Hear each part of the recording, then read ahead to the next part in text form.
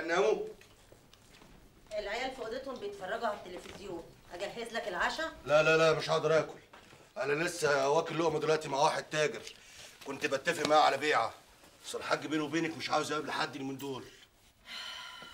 هو اللي حصل ده شوية يا برعي. الحاج صعبان عليا قوي يا حميدة. لو شفت حاله يصعب على الكافر. الراجل زي ما يكون اتكسر. أنا خايف على الراجل ده لو جرى له حاجة مين هيدور الشغل؟ أمال أنت رحت فين؟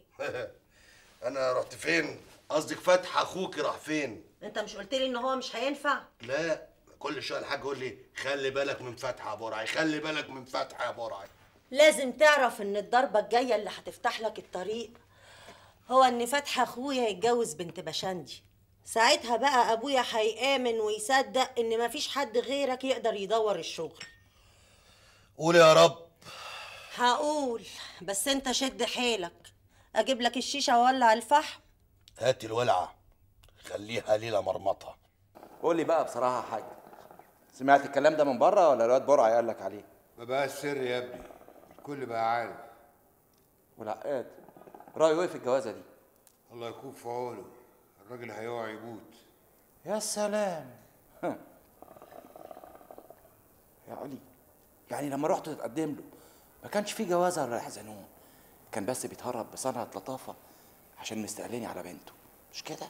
خلاص بقى يا سمير يا ابني. ده موضوع عدى وراح لحاله. لا يابا ما راحش الحال ولا حاجة. الراجل ده بيبص لنا من فوق من فوق قوي. شكله كده بيستعر إننا نناسبه. أديك شايف إيه اللي حصل؟ بنته زرعت له أكبر خازوق. خلينا في الإهانة اللي إحنا فيها. إزاي يرفض ابن المعلم مطوع اللي الدنيا كلها تتمنى تسلم عليه؟ انت هتكبر الموضوع هو الراجل ناقصك خلاص يبقى يسيبنا على راحتنا. وحد منعك. يبقى نشتغل اللي على كيفنا. ما تشتغل في اللي انت عايزه. حلو قوي أنا بقى هشتغل في البودرة. وياك يفتح بقه وأنا قلت لا. إحنا يا ابني مش عايزين مشاكل. جراي يابا. بعد كل اللي حصل ولسه عامل له اعتبار. أما أموت بقى اعمل اللي انت عايزه.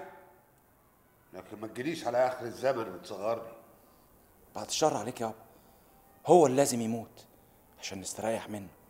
ولا هنفضل طول العمر نشتغل وهو واصي علينا.